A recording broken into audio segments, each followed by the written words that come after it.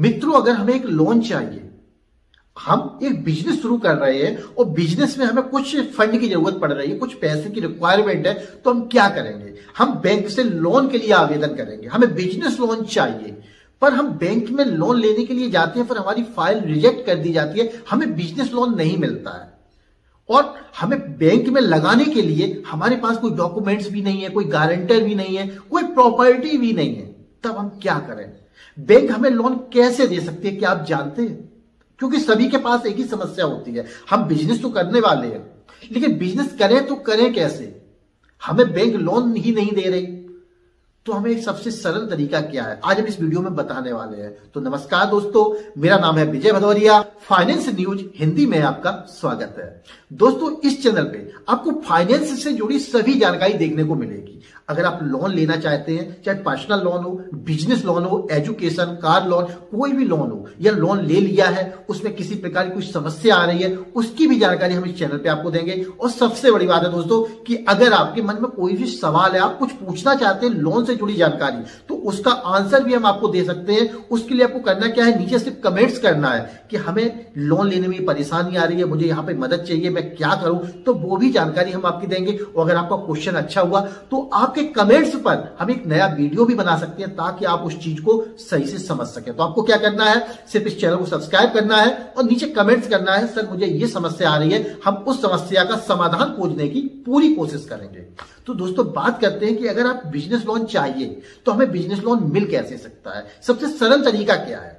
दोस्तों, सबसे सरल तरीका होता है कि सबसे पहले जो आप बिज़नेस करने वाले हैं, जो भी बिज़नेस आपने विचार किया है, क्योंकि हम ये बिज़नेस करने वाले हैं तो उसकी पूरा प्रोजेक्ट बनाइए कि हमें ये बिज़नेस शुरू करना है। इस बिज़नेस में हमें इतनी लागत लगने वाली है। और इसमें ये मशीन आने वाली है। मशीनरी में इतना खर्चा है और इसमें जो लेबर लगेगी, इतनी लगेगी और हम इस प्रोजेक्ट को इस जगह डालने वाले हैं। वो जगह भी पहले आपको चिन्हित कर लेनी है, चाहे कोई बिज़नेस हो। इस चीज़ को अगर आपकी मशीनरी नहीं लगने वाली, कोई बात नहीं। मशीनरी को हटा दीजिए। जो भी उसमें प्रोजेक्ट लगने वाला है, जो भी सामान आने वाला है, पहले आपको प्रोजेक्ट फ़ाइल तैयार करनी है सबसे पहले। क्योंकि बिज़नेस लोन लेने की कुछ तरकीबें होती हैं। हम डायरेक्ट कहीं जाते हैं तो हमें लोन नहीं मिलता है, लेकिन सबसे पहले हमें क्या करना होता है? ये काम आपको करना है। आपने एक काम कर लिया कि आपने एक फ़ाइल तैयार कर ली, जिसमें अपना पूरा प्रोजेक्ट लिख लिया। हमें ये बिज़नेस करना है। इस बिज़नेस में इतनी लागत है, इसमें इतनी मशीनरी आनी है टोटल इन्वेस्टमेंट हमारा इतना हो रहा है। और इसमें मेरे पास इस समय कितना बजट उपलब्ध है, ये भी आपको पहले मेंशन कर लेना है। जैसे कि हमें दस लाख रुपए का कोई हम बिज़नेस शुरू करने वाले हैं तो दस लाख में एक लाख तो मेरे पास है, पर नौ लाख की मेरे पास कमी पड़ रही है। प्रोजेक्ट आपने तैयार कर लिया। अब प्रोजेक्ट के बाद, अब दो तरीके हैं कि आप बैंक से लोन ले सकते हैं। पहला तरीका है कि आप डायरेक्ट बैंक में चले जाए। किसी भी सरकारी बैंक में आप जा सकते हैं। जो भी आपकी सरकारी बैंक स्टेट बैंक हो सेंट्रल बैंक हो जो भी आपके नज़दीक बैंक पड़ रही हो आपकी सरकारी bank, state bank, central bank आदि जो सरकारी बैंक हैं, इन पर आप जा सकते हैं। अब बैंक में जाने के बाद आप वहाँ से मैनेजर के पास जाकर अपना प्रोजेक्ट दिखा सकते हैं। सर, हम ये बिज़नेस शुरू करने वाले हैं। अब ये बिज़नेस मुझे लोन चाहिए। कैसे लोन मिलेगा? वो आपको तरकीब बताएँगे या तो बोलेंगे कि अभी मेरे पास इसके लिए फंड नहीं है, मैं आपको उस समय बाद बताएँगे यानी वो आपको वहाँ से टालने की कोशिश करेंगे। कोई बात है प्रोजेक्ट आपने बना लिया है। अब आपको दूसरा काम करना है। ऑनलाइन आवेदन करेंगे आप पीएम योजना के तहत। यानी कि आप इसके लिए क्या करना होगा? आपके नजदीकी जो भी कंप्यूटर सेंटर वगैरह खुले होते हैं, जहाँ पर आपको आधार कार्ड वगैरह निकाल के देते हैं, जो जनसेवा केंद्र जिनको हम बोलते हैं, वहाँ पर आपको जाना है। वहाँ पर जाकर भी आप इसके लिए आवेदन कर सकते हैं, या फिर घर बैठे भी कर सकते हैं। इसमें दो योजना चलती हैं। एक तो मुख्यमंत्री ग्रामोद्योग रोज़गार योजना, दूसरी चलती है पीएम ईजीपी, प्रधानमंत्री योजना। तो इसके तहत आप आवेदन कर सकते हैं। अगर आपके राज्य में मुख्यमंत्री योजना के तहत लोन मिल रहा है तो उसके लिए आवेदन करते हैं या प्रधानमंत्री के तहत करते हैं। दोनों योजनाओं के तहत आप ऑनलाइन आवेदन करेंगे।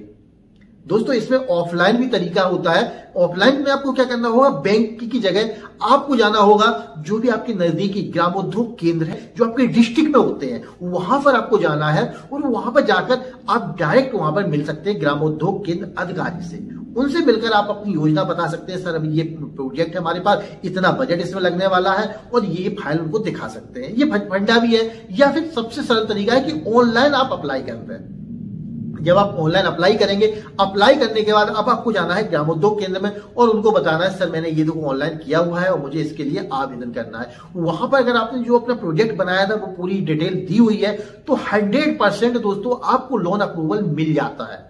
और उस लोन में आपको कई एक सहूलियतें मिलती हैं। ना तो आपको कोई प्रॉपर्टी लगानी होती है, साथ में सब्सिडी भी मिलती है और सब्सिडी के साथ साथ किसी प्रकार की कोई गारंटर की भी आवश्यकता नहीं पड़ती है। क्योंकि हमें लोन लेते समय एक गारंटर की भी आवश्यकता पड़ती है तो इसमें आपको कोई गारंटर भी नहीं लगेगा, कोई और साथ में सब्सिडी भी मिलेगी। अगर आप लोन लेना चाहते हैं बिना किसी गारंटर के तो सबसे आसान तरीका यही है कि आपको अपने घर से, या तो अगर आप लैपटॉप वगैरह चला लेते हैं तो घर पे भी अप्लाई कर सकते हैं, लेकिन घर पे हो सकता है, अगर आप नहीं जानते हैं तो कहीं मिस्टेक भी कर सकते हैं। तो आपको ऑनलाइन अप्लाई करना है, अपने नजदीकी सेवा केंद्र पे जाकर, वहाँ से अप्लाई कर दो। आप देखेंगे पंद्रह दिन से लेकर एक महीने के अंदर आपको रिप्लाई मिल जाएगा कि आपको यहाँ से लोन मिल जाएगा और वो फ़ाइल जाएगी बैंक में और बैंक मैनेजर आपको आसानी से लोन उपलब्ध करवा देगा। तो सबसे पहले आपको क्या करना है? लोन पास करवाना है सरकारी योजना के तहत। ये सिंपल सा फंडा है दोस्तों। बहुत सारे लोगों को लोन इस योजना के तहत मिल चुका है। आपको भी लोन मिल जाएगा और इसके अलावा इस योजना से जुड़ी कोई भी जानकारी आप चाहते हैं